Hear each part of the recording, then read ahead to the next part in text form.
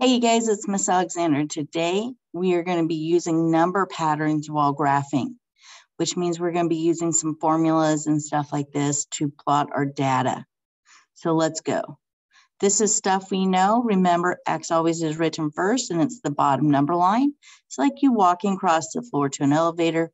The Y coordinate's written second. So remember, it's an ABC order and it's the horizontal line that goes for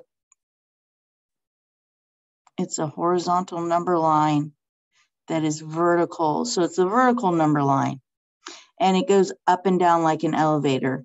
By the way, remember all our X and Y's always start at zero at the, yes, you guys, the origin. Great job. We're going to go this one. Remember, we're just going to practice plotting.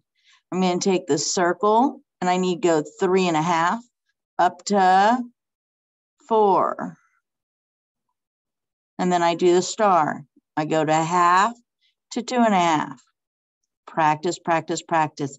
It's nice when we know what we're doing and we practice to make sure we keep our skills strong. And that's all we are doing right here. So here we go. That's those. You'll finish the next four. We're going to expand our knowledge by generating numerical patterns with a given rule. Then plot the data on a coordinate plane. So let's go look. So here we have y equals x plus 5, you guys.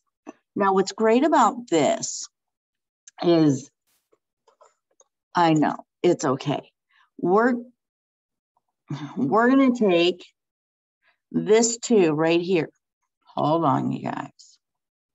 We're going to take this two. You see it? And we're going to put that two right over here where the X is.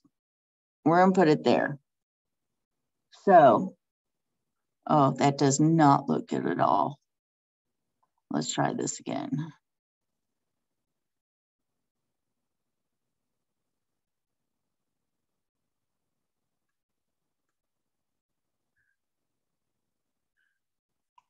There we go. We're to take this too, right here, and move it over here. So all we have to do is add. And we do 2 plus 5. Yes, it's 7. And our ordered pair would be, mm-hmm. yes, you guys, 2, 7. I do the same thing with a 5. Okay. I'm going to scribble right here, this 5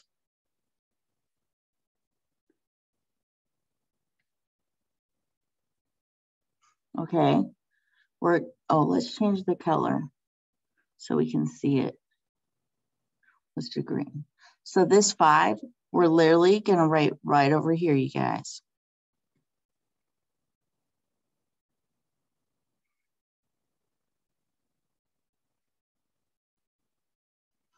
See it? So five plus five is, yes, 10, you guys.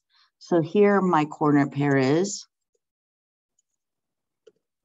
5, 10. Good job.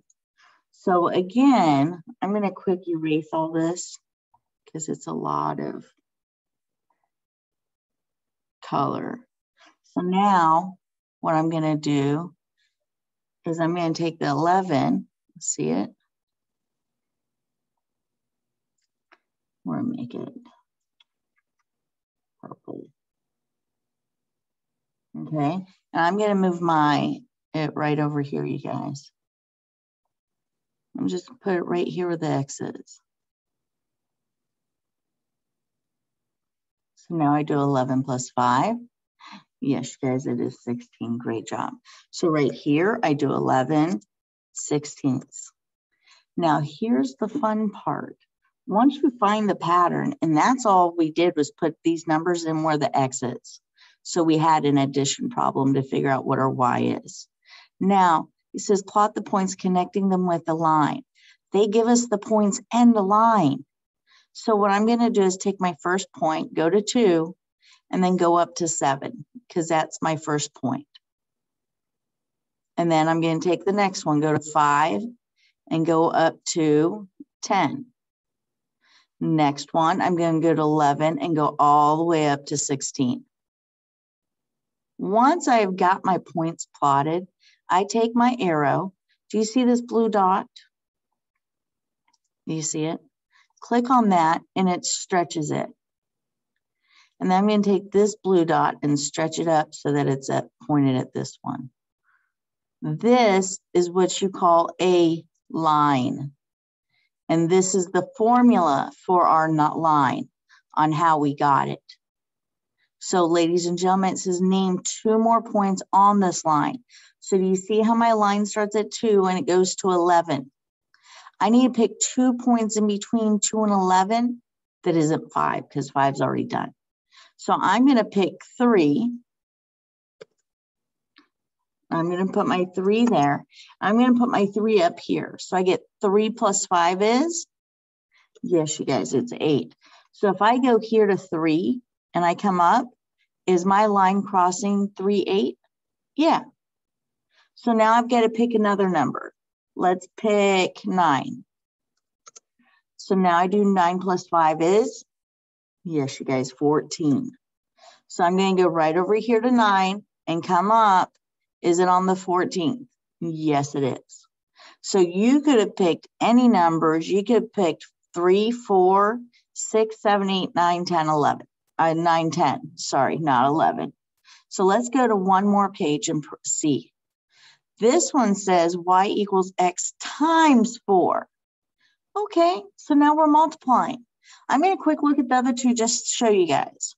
This is y equals x divided by 2. That's kind of cool. And then x minus 6. So you need to pay attention to the sign of what you're doing. I'm actually going to do this one because it looks fun.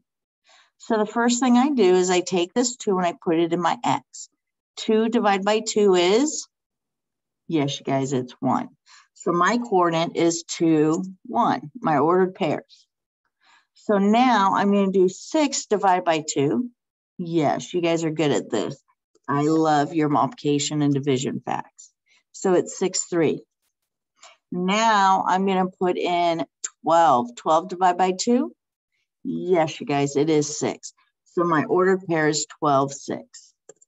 So now I need to go plot. Here I go. I'm going to 2 and then 1. Oh, that's good six, three.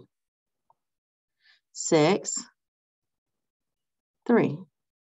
And then 12, six. 12, six. Now remember, I got to take my line, blue line, blue dot, I can always adjust in a minute. And there you go. There's your line. Now I need to pick a number between 2 and 12 because I need to name two more points. Now here's the trick. I need to make sure I pick numbers between 2 and 12 that are even so I don't have this halfway point. You can do the halfway point if you want, but my suggestion is just stick with even numbers. So it looks like I have 4, 8, and 10. So I'm going to go ahead and do 4. 4 divided by 2 is, yes, 2. And then let's do 10. 10 divided by 2 is, yes, you guys, 5. Now, I'm going to ask you guys do the other two that I didn't do with the check for understanding. And remember, while you're doing this, to smile, giggle, and wiggle. And I'll talk to you later. Bye.